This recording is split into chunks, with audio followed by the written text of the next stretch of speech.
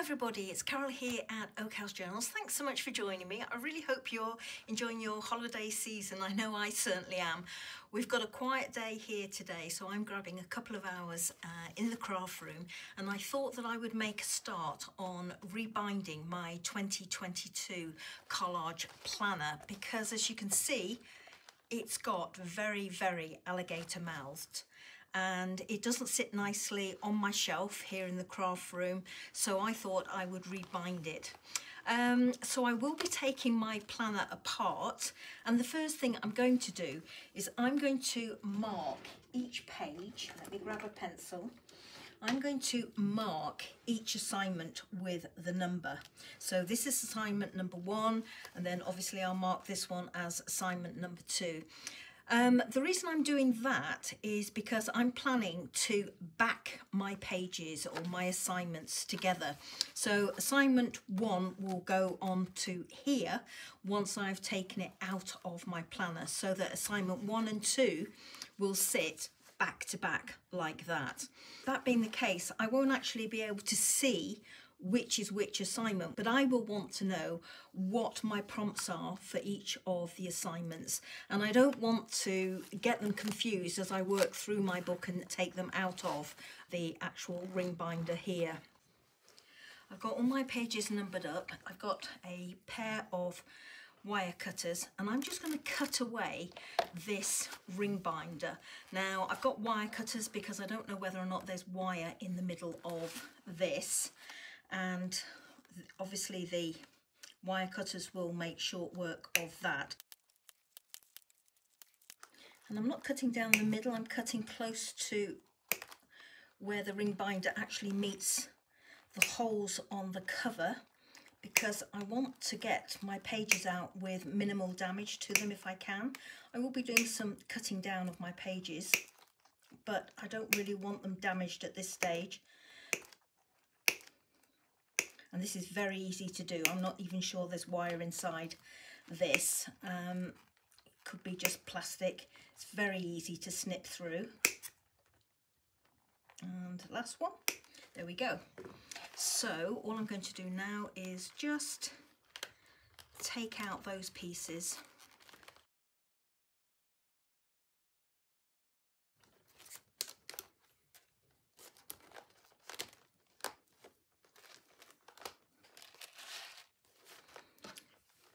we go, all my pages are now loose and that's how thick my book is going to be. So I'm just going to get rid of these. I'm going to keep the cover of my planner for the time being because I'm not sure if I'm going to use that on the cover of my new book or I might just use it as cardstock. Um, but I am going to put it to one side and keep it. Similarly, this first page. This page I will want because that's got my first assignment on it. Now, if you look inside the planner, you will see that you will have all the pages with holes down the side. What I've done with this first page my holes were down this side, I've just trimmed those holes off to the same width as this side so it's five millimeters or half a centimeter.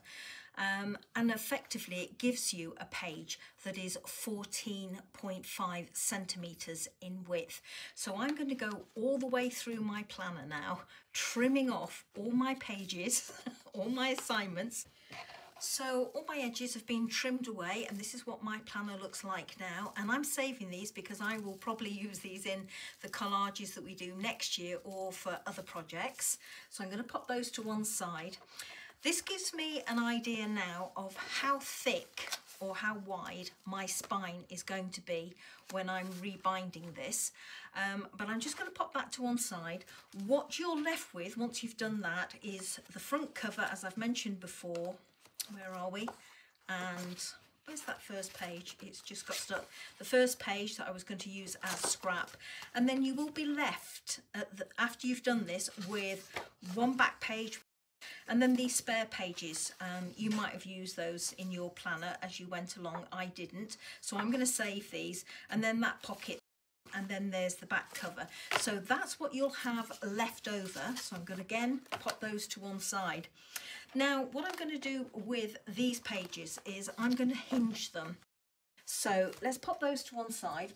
All I've got here is a sheet of about 80 GSM photocopier paper. Now, normally I would not create a hinge out of 80 GSM paper because it just wouldn't be strong enough.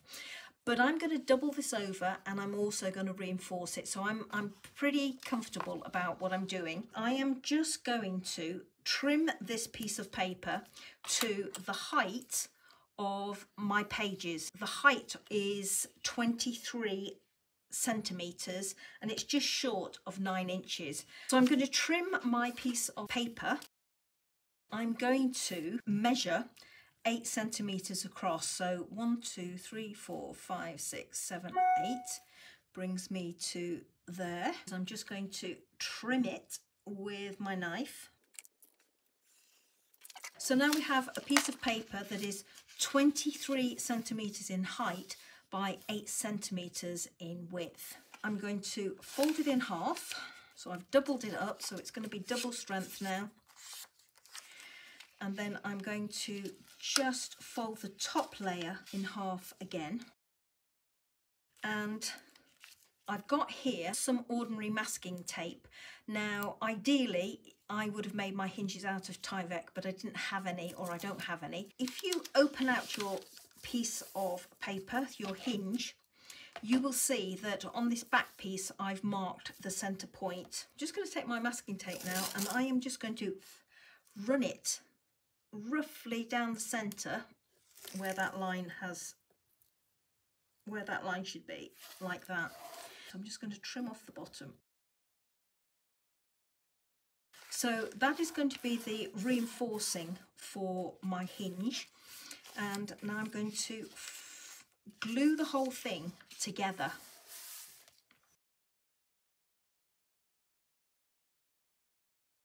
So my hinge now is four centimetres across. It's glued, it's reinforced with some masking tape inside and it's 23 centimetres in height. I finished making all my hinges last night and here they are finished. And I glued them and then I left them to dry underneath a heavy weight so that they would be nice and crisp in terms of the folds. And I also made myself a little note so that I knew so that I could work out how many um, actual hinges I was going to need. Because what I decided to do was for my signatures I'm going to use two hinges one inside each other like that.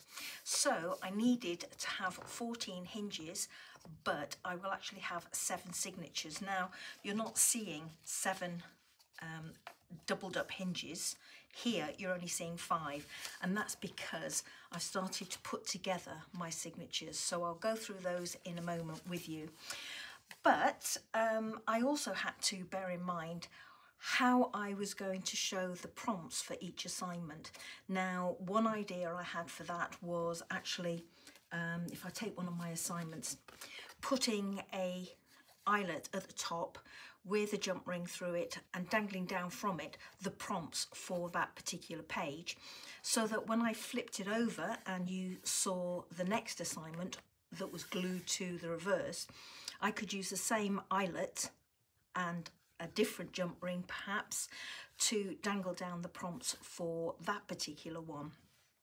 Um, that was quite a nice idea, but I wasn't um, too comfortable that it would work particularly well. The other idea I had was about putting a flap at the outside edge of my book so that the flap on this side, if I put, if I do something like this, if I put that there and that one behind, so create a flap that is sandwiched in there on the outside edge of my journal. And the idea I had was that I would put the prompts for this page on this side of the flap and then when I turn over I've got the prompts for this page on that side of the flap. But I wasn't comfortable with that because that was going to give me a lot more bulk at the outside edge of my journal, which is where a journal will get more alligator mouthed um, if it's going that way. So what I decided to do was to create something that could be actually stitched in to my journal. So something like that. So what I've come up with, let me just pop those away. What I came up with was these let me pop those to one side as well. I came up with just a fold of paper, really, really simple and easy. Now, for those of you that want dimensions, um, it's eight centimeters high by 19 centimeters wide. And as you can see, all I've done is fold it in half. And the reason for that size is because I took the little prompts that Margarete Miller has on her website, printed them off and just cut them round the border so they will fit quite nicely onto this fold of paper. And my idea was to, as I've said, sandwich this between the hinges.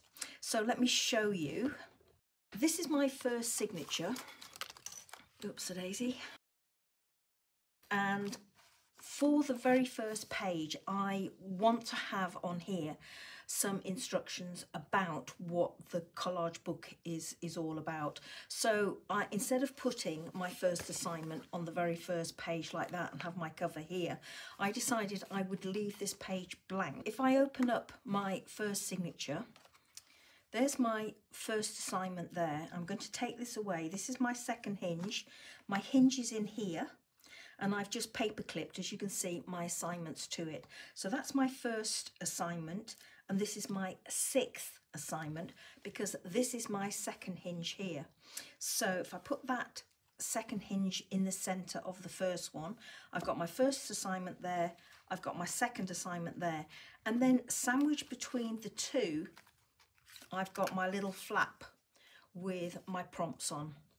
So that goes that will just sit in there and get sewn in when this signature is all sewn together.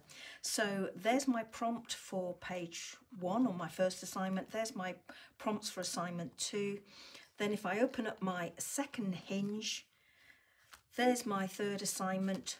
And for this one, um, this is the center of the signature. So this one is slightly different.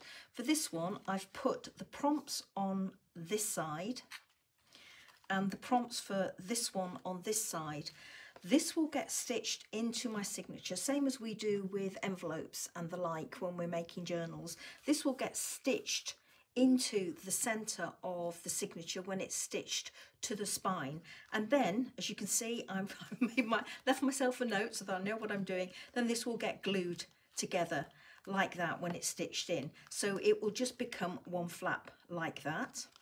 And then as I go over the page, obviously this is the um, first slip of paper for assignment number five and assignment number six. Now, this is assignment number seven, but I don't have a piece of paper. And that is because I've done this. I've left that blank page. Now, if you don't do that, then this will make life easier for you. But I have. So I now go on to my second signature, which is here. And to start that one off, I have used one of these little slips of paper and I've put that round the outside of my signature and it's got my prompts for assignment seven there it's got my prompts for assignment eight here and then as normal as with the first signature and that's coming away for some reason. Oh, that's because I pulled the paper clip off.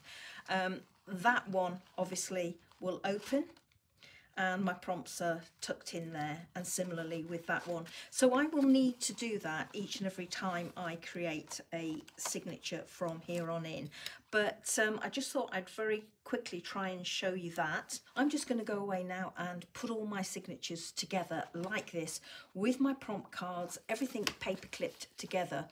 Obviously, you could go ahead and glue everything together straight away, but I sometimes get distracted and I'll have a signature in the wrong place or a prompt in the wrong place. So I don't want to do that. I'm going to clip everything together with paper clips, make sure it's all in the right place and aligned, and then I'm going to go in and glue it all. So I'll be back when that's done.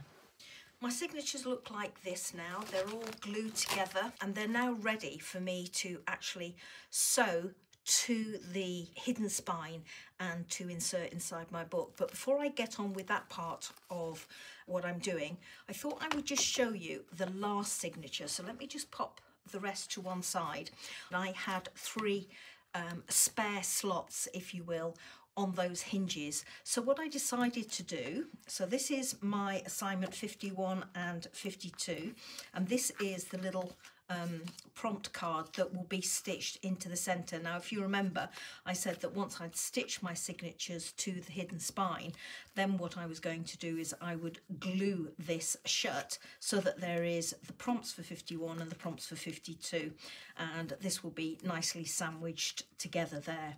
Um, so on the back of um, assignment 52, I had a blank page and um, what I decided to do was use the scrap pages that are in the back of the 2022 planner. Now these were for us to cut out and use as we wanted to on various assignments but I never got round to, to using mine so I've glued one in there on the back of assignment 52 and I've glued another one here and I've just put the back pocket from the planner cover here and if you remember I had these pieces tucked into this back pocket and these were bits and bobs that I wanted to use or I thought I might want to use throughout the year but but didn't get round to using them.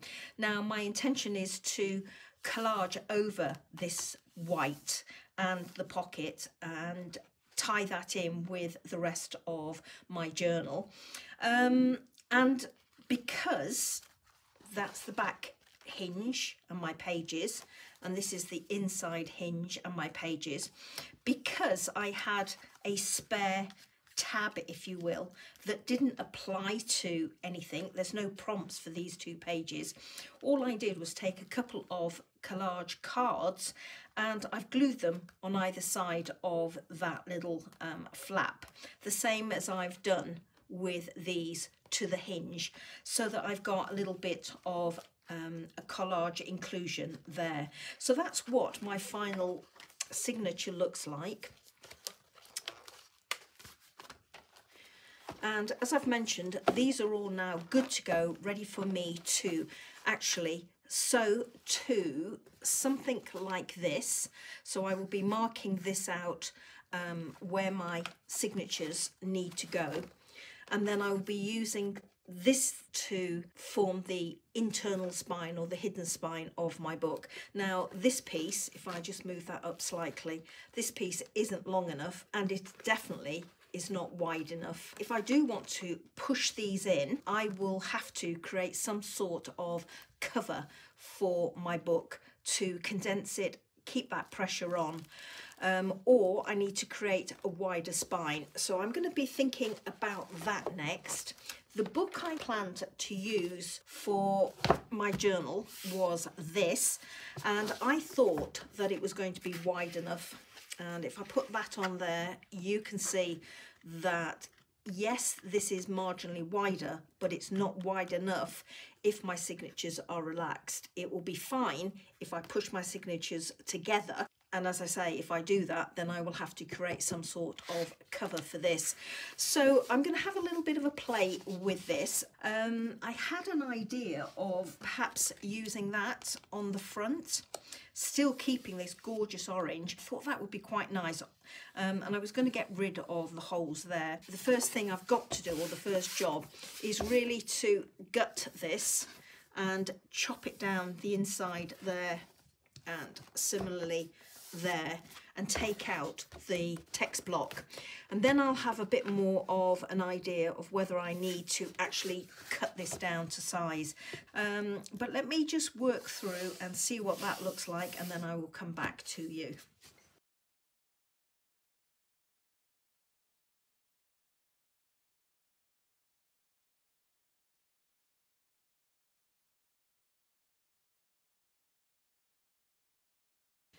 I've cut the text block out of the encyclopedia and if I just open it up you can see that I've put my signatures inside and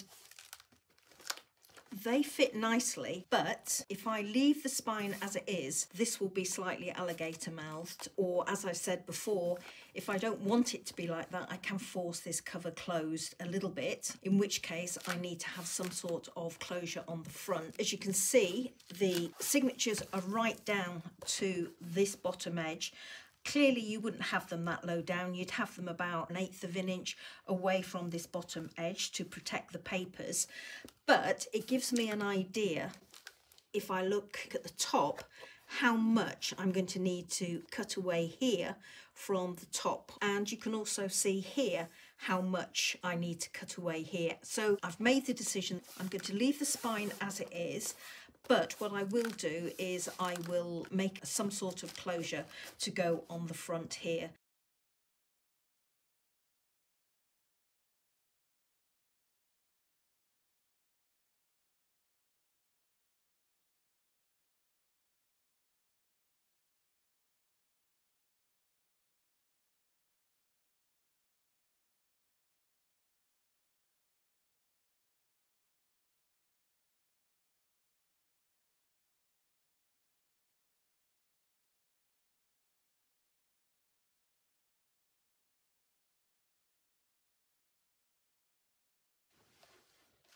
Both edges are trimmed and sanded and so is the top. Peeled back a bit more of the inside lining paper here and I'm going to glue this down here so that I have this co orange covering for the spine and that on there and that on there and I'm also going to glue this down here onto this portion here where which is the book cloth to reinforce it because I'm not increasing the size of the spine beyond this piece but I am taking my spine to these book boards here. So I need to help that book cloth there and reinforce it a, a little bit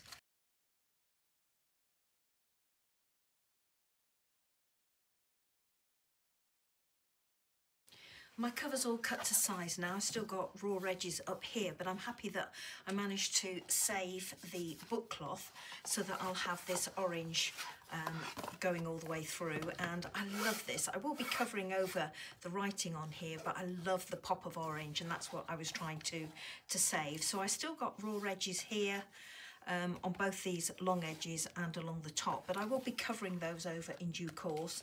Um, I've managed to find a piece of canvas that was down the side of um, a deed, an old deed packet. So that is perfect for supporting my hidden spine in there. Now this is the canvas side up, but if I flip it over that way, then it's white, which is brilliant. Um, but you won't see the edges of this, that most of this will be covered up with the signatures.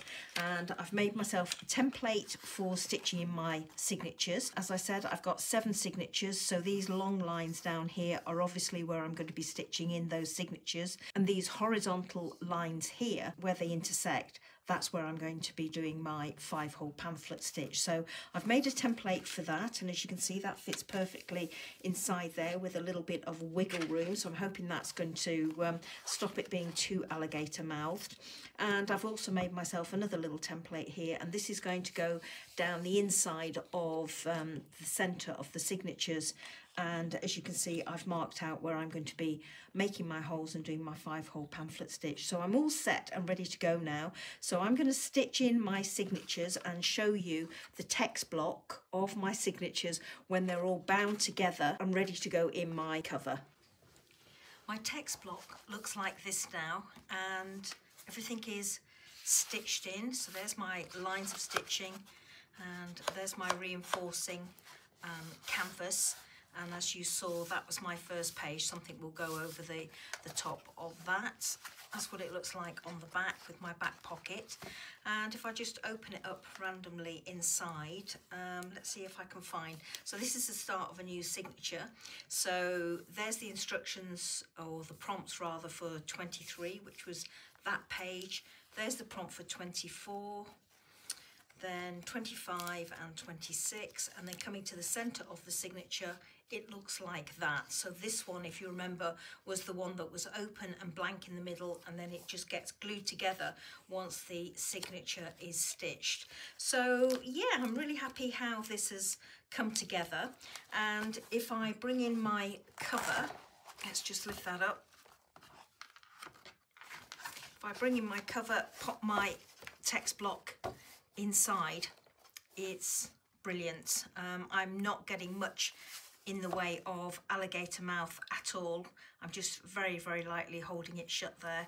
I could get away with not actually having to have a closure on here but I do want to. If I just open it up again. These are my pieces of canvas as you saw. Let me just center that. And there's one there.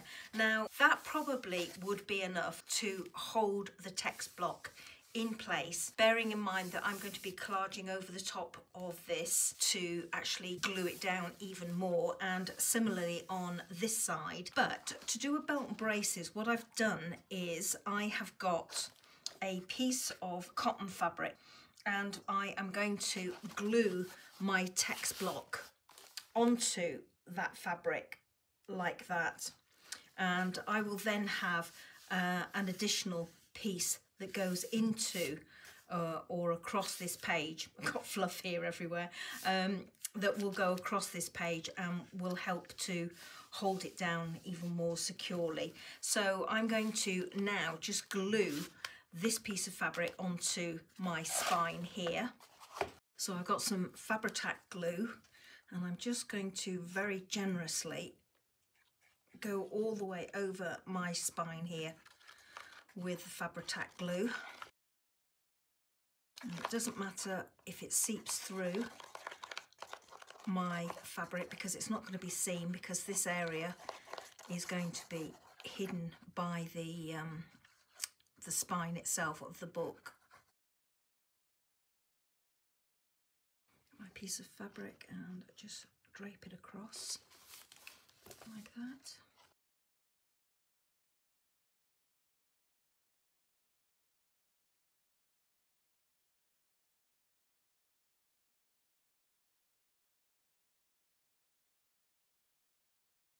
And now what I'm going to do is I'm going to glue this canvas piece also to my fabric.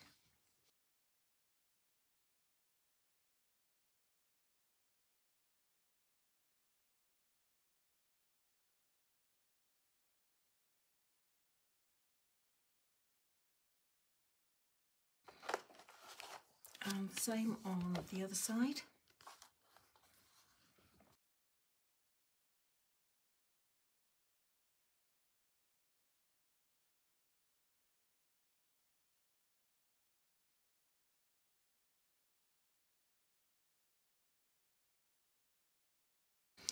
The fabric is now glued to the spine of my book and I've just laid it inside the uh, cover. So what I'm going to do now is I'm going to glue all this and stick it onto my cover. And uh, for that I'm going to use art glitter glue. I haven't got any bookbinding glue. If I did I'd be using that. Um, I've taken the fine knit um, fine nozzle of that um, off my glue because I actually want a good amount of glue to come out onto my um, piece here. So I'm just going to put a very generous amount of glue onto here.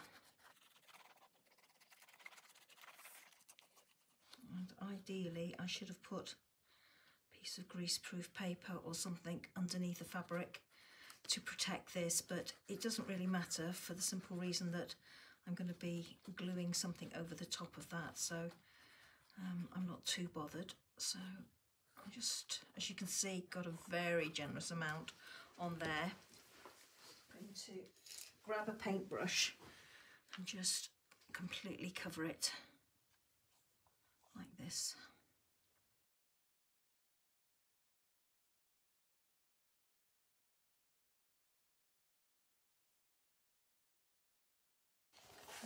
Spine up, close that over the top flip it over. Make sure it's nicely down and secure.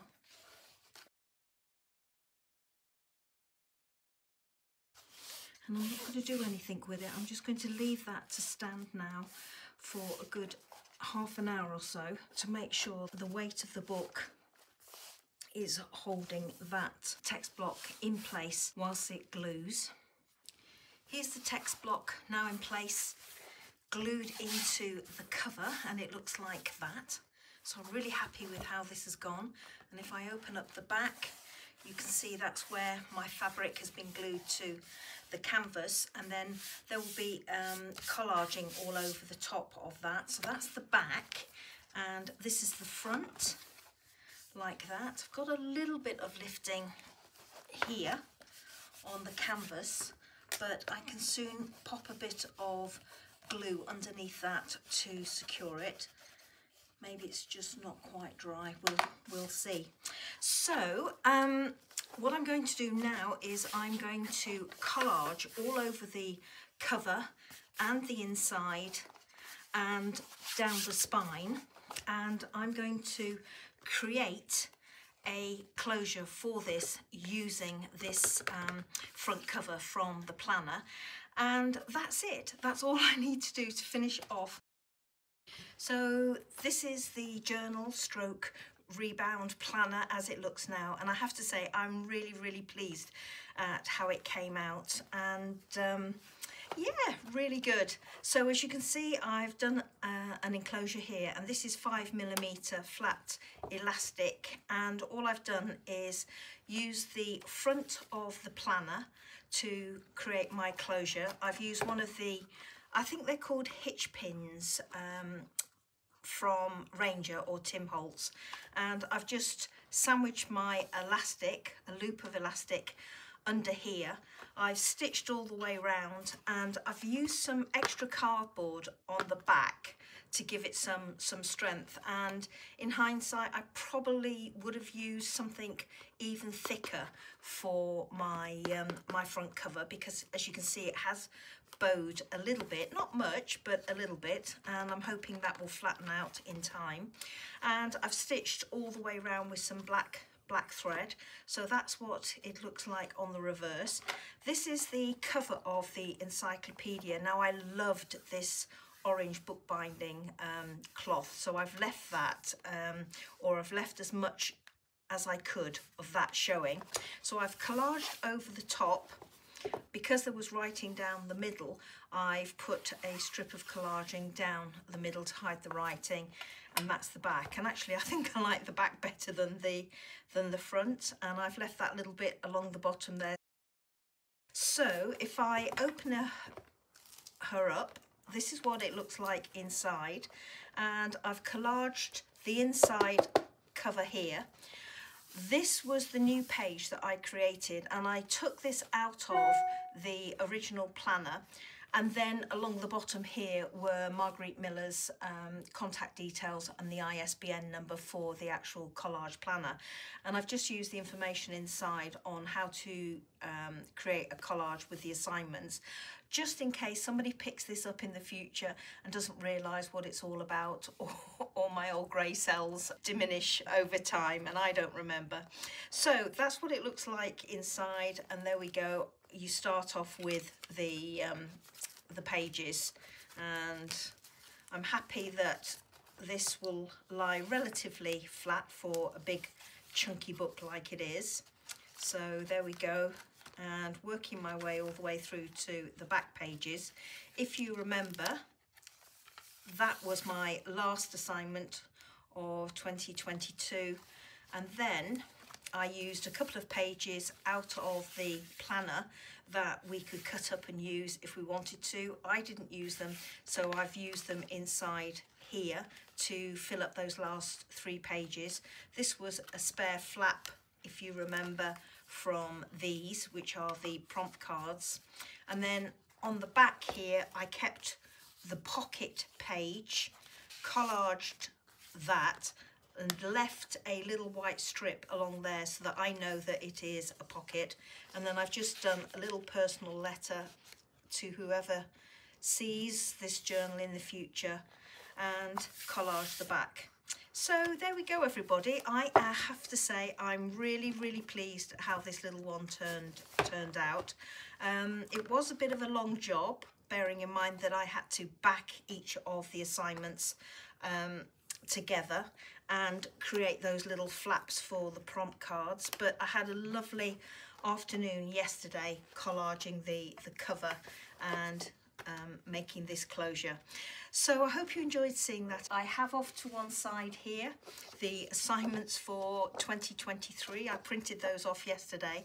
So I'm going to get ahead of the game for next year. I'm going to make those little um, prompt card tabs that you saw with these now and um, set up my planner for next year. So have a wonderful, wonderful holiday season, everybody. Enjoy your break, enjoy your Christmases, and let's have a wonderful crafting 2023. Thank you so much, as always, for watching. Take care. Bye-bye.